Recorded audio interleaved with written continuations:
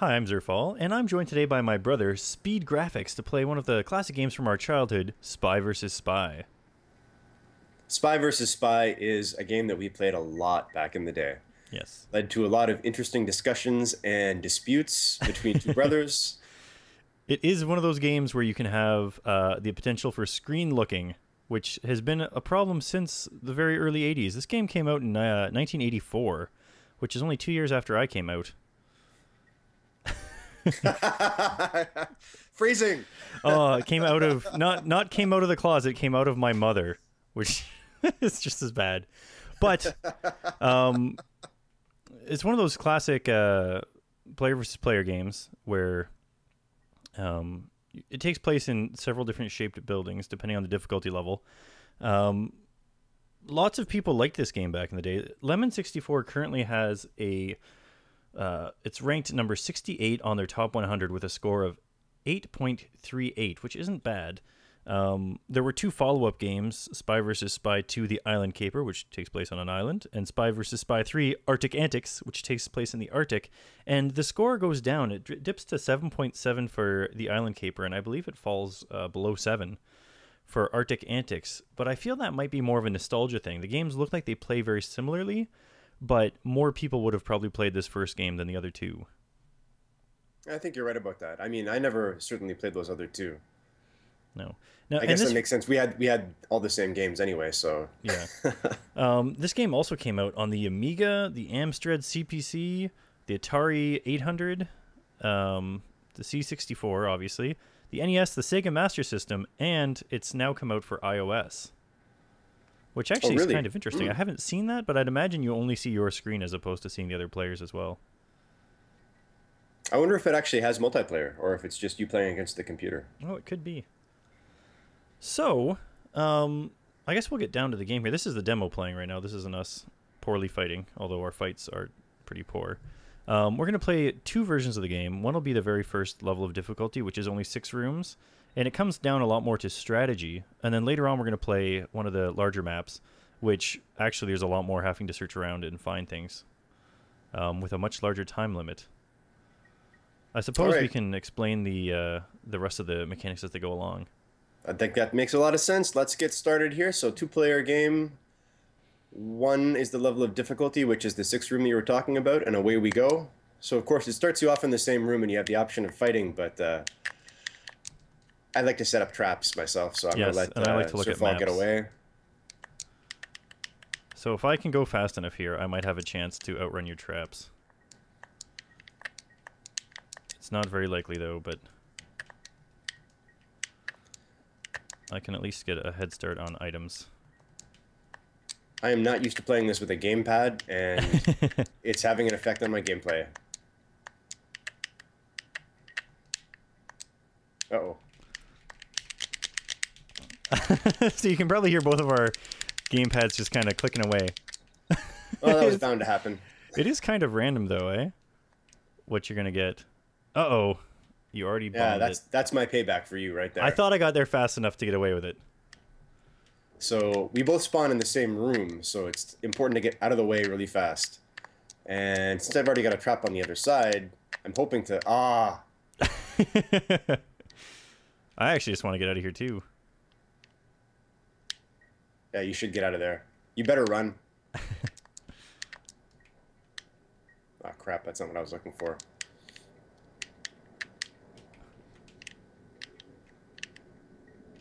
See, now every time you get into a fight, the person that's carrying items drops them back into a piece of furniture.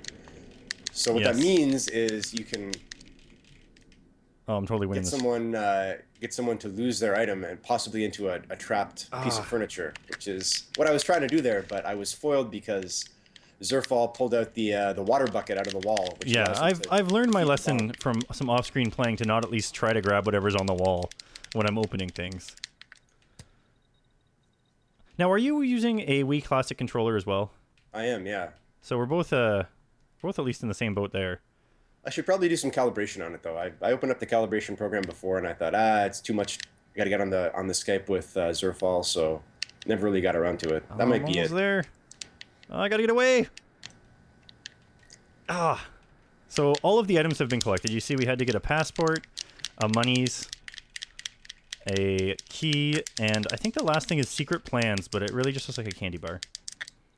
Oh my, look at that. I finally want to fight. Uh oh, and it was the crucial fight in the uh, the game too, because everything is in that room. Where's the airport door? Oh Yes. no, there's no way I'm catching up to you. So the airport door is because of the settings that we have. It's also hidden till the end. Which You is can supposed also to be set it up so that it's it's visible when as soon as you start the game.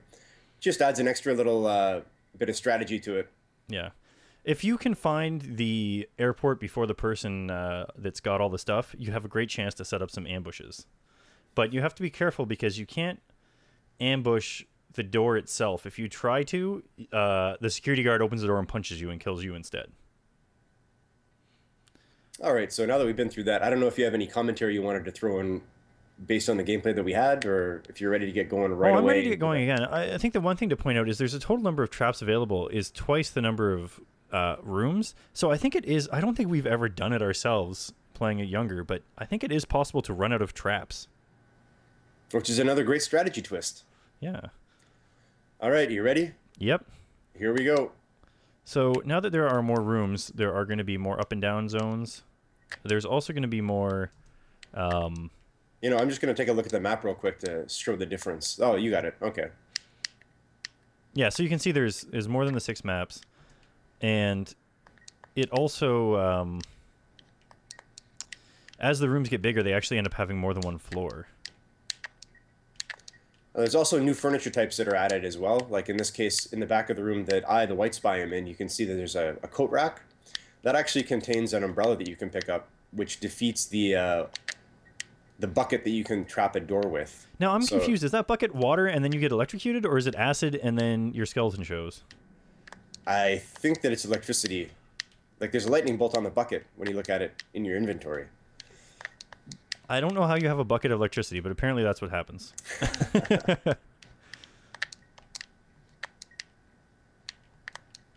Geez, you've been really finding items already. I guess you Yes, looked at the I map. have. That's a smart guy. I should do that myself.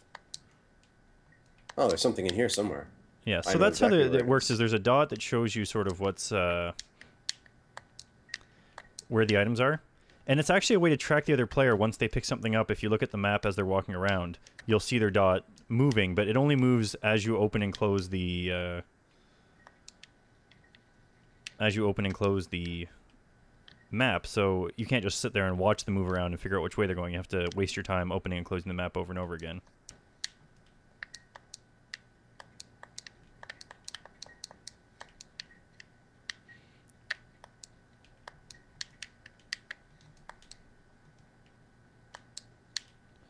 I'm going to try to be a little crafty here, which I might not have wanted to announce.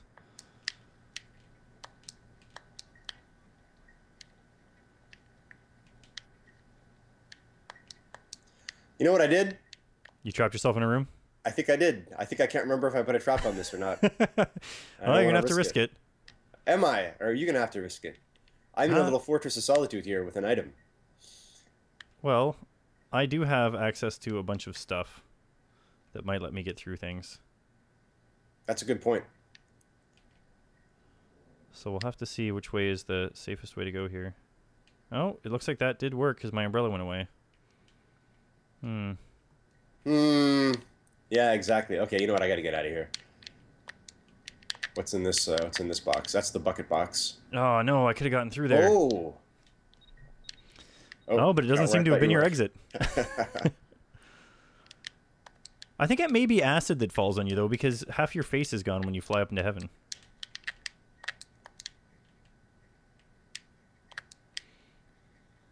What? I thought the wire cutter was going to stop that. Oh well. Well, it clearly didn't. All right, is this? Hopefully, this is a bucket of acid. Yeah, I had a real penchant for those at the beginning. There you go. Oh man, actually, it didn't go away. I don't think that door was trapped at all. What? Oh man! you t- you psyched yourself out. Uh oh. Oh yeah. No, you obviously died of something up there. I did that.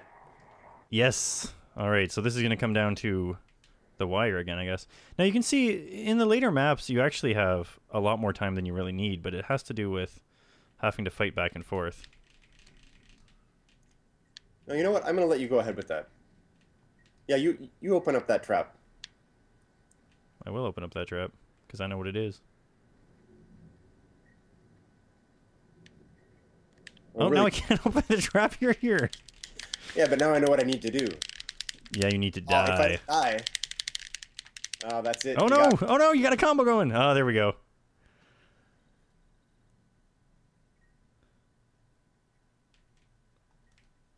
So, if I'm fast enough, I should be able to get out of here. But you might be able to find the. No, I couldn't even undo the trap. Yeah, yeah, yeah.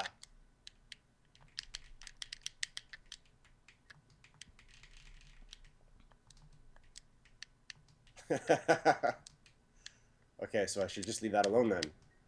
Uh oh, I set up that trap.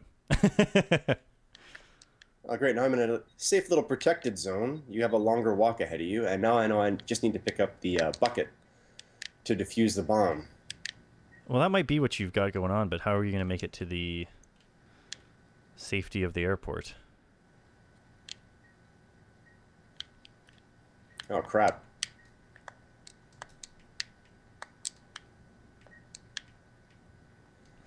No, I had to set that trap in that room because, really, I mean, the only option to me was the bucket.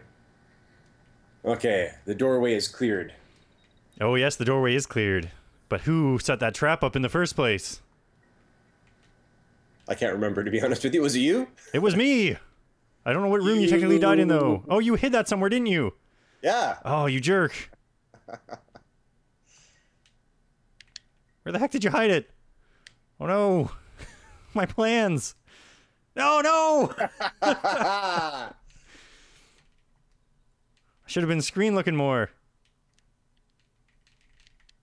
Come on, gotta make it. Don't get stuck on corners. Let's go. Let's go. Let's I go. need to spawn. No. Ah. I thought I had the plans. This is so much more fun uh, now that we know what we're doing with it. Yeah, when we were younger, it was sort of just. I mean, I, I kind of understood the game enough to get the items and stuff, but I think we'd more often get frustrated on the higher ranked difficulty levels than before. Uh, before we'd actually get uh, through a level. Now, you know what we should do? Let's go to one of the really high level ones. I don't need to play all the way through it, but I just want to show the fact that there's actually a Well, let's huge try with map. let's try right? with six because we might actually have a chance to to complete that in a. All right, here we go. So once again, I'm not going to fight you, so we can get the map going. I'll call it up. Thank you. Gives me a So- chance. This. Anyways, you can see there. There's only three items on this uh, floor, so that means there's going to be a second floor. Oh, you found the attaché case already. I did. Uh, escape. You better run. Apparently, I should have. Yes. Oh no! Oh no! wait. Aha! Turn the tides. No. It's all about the jabs. I could only have. I must have only been like one hit off uh, that. Now I thought the map said there was something in here, but clearly I was mistaken.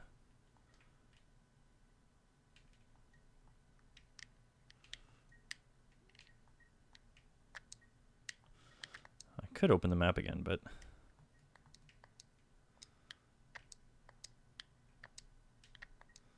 perhaps it's this way. So somewhere around here, there's got to be a ladder or a hole in the floor.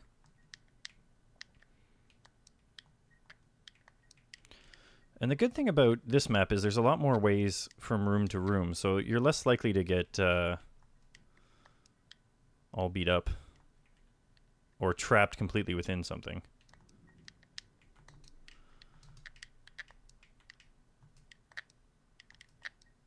Oh man. Hey, I know where you are. Yeah.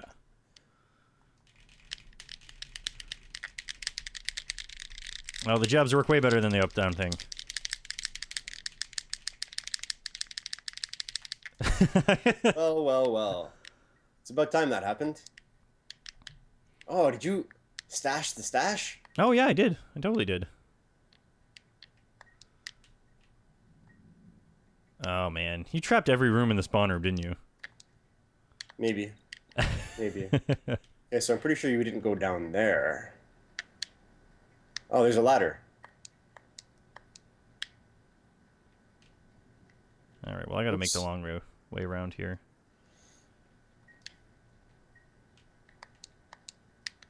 Better take a look at the map here uh, now that I'm on the next level. Okay.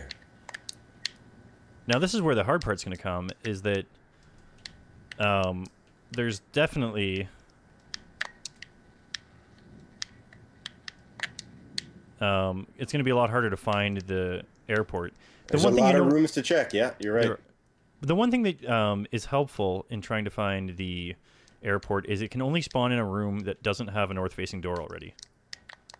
So the majority of the uh, rooms on the H shape can't really have an airport because they've already got the up and the downs.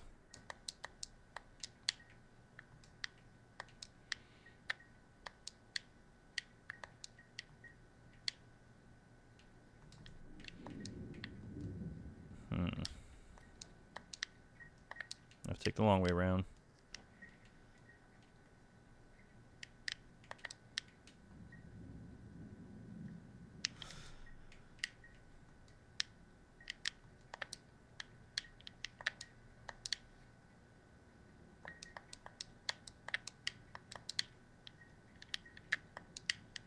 No, no, no, no, no.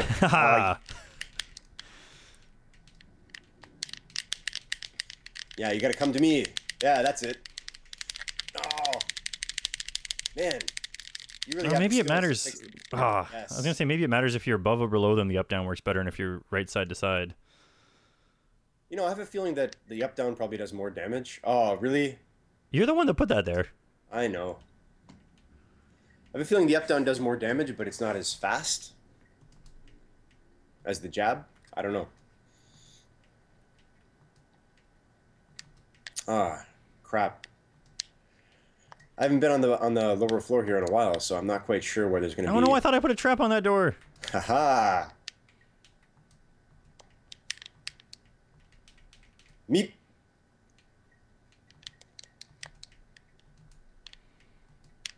No, I'm not fast enough for traps. I'm gonna leave you in my dust. I don't want to see you at all.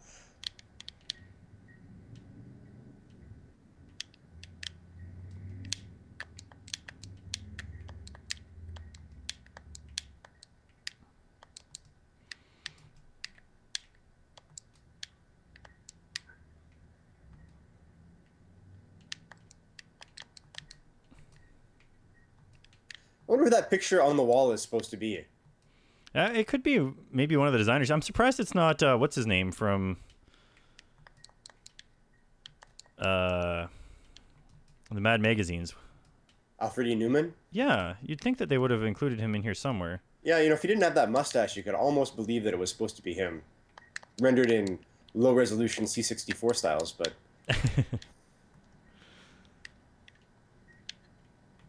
All right, where's this map? That's a good question. Where is this map? I got all turned around now. Got myself lost. Okay. oh no, I went up and then down again. I'm wasting time on this ladder.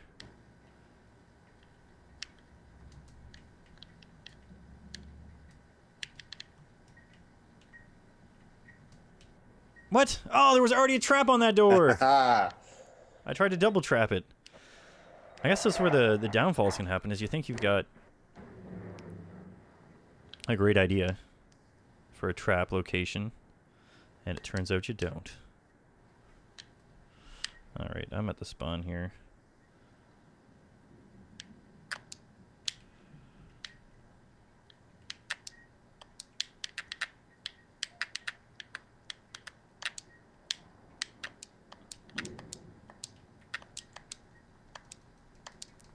You can't trap the door if it keeps opening and closing. Apparently, it legs you out too. stop that.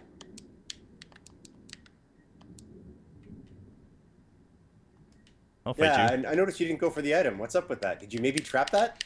Maybe, but what type of trap is on it? Do I even know? Ah, well, you're gonna find out. yep. All right, I gotta find this item first, though, because my safest bet What? How did this not drop in here somewhere? That's a mystery. Oh, can you guess who? Oh, look what I found. That's weird that it's. I guess all the items have been found. That's oh right. no, that means that you must have dropped the item in the attaché case. you got me. What a clever guy.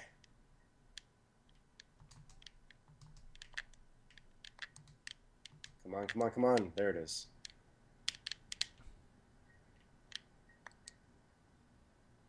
Oh, really? Thanks for opening that up for me, buddy. Uh, I Oh, cannot believe how crafty you are this time. I just gotta find where that uh, where that airport was. It couldn't have been too far from here. Nope, not that way. Uh oh. Uh oh.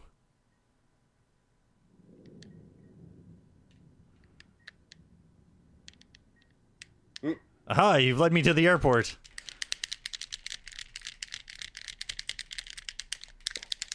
No! Ah. I'm resigned to my fate. You got me. Well, I'll tell you, I haven't gotten. I don't have the attaché case on me. I'm not sure which room it fell in. Oh, there it is. All right, if I can get out of here fast enough. No, jeez. So yes. close. Yes. No. Aha. Oh, you barely made it. Nicely done. So there we go. So I guess that's uh, that's a pretty good example of all the gameplay. The only thing that's different, I think, in level seven and eight are the um, the holes in the ground are sometimes hidden under a rug. Under carpet. Yeah, you're right. I remember that. So uh, I'm surprised that we were actually playing that high of a difficulty level when we were younger. We probably thought it was a great idea to have a long version of the game, and then it just became too much for us. You know, in all honesty, it's probably because it ends up being like a half hour game. And you could say to mom or dad, I'm in the middle of a game. Yeah, let me just play one more. All right, well, I've been Zerfall. And I've been Speed Grafik. And uh, hope to catch you guys on another C64 Sunday.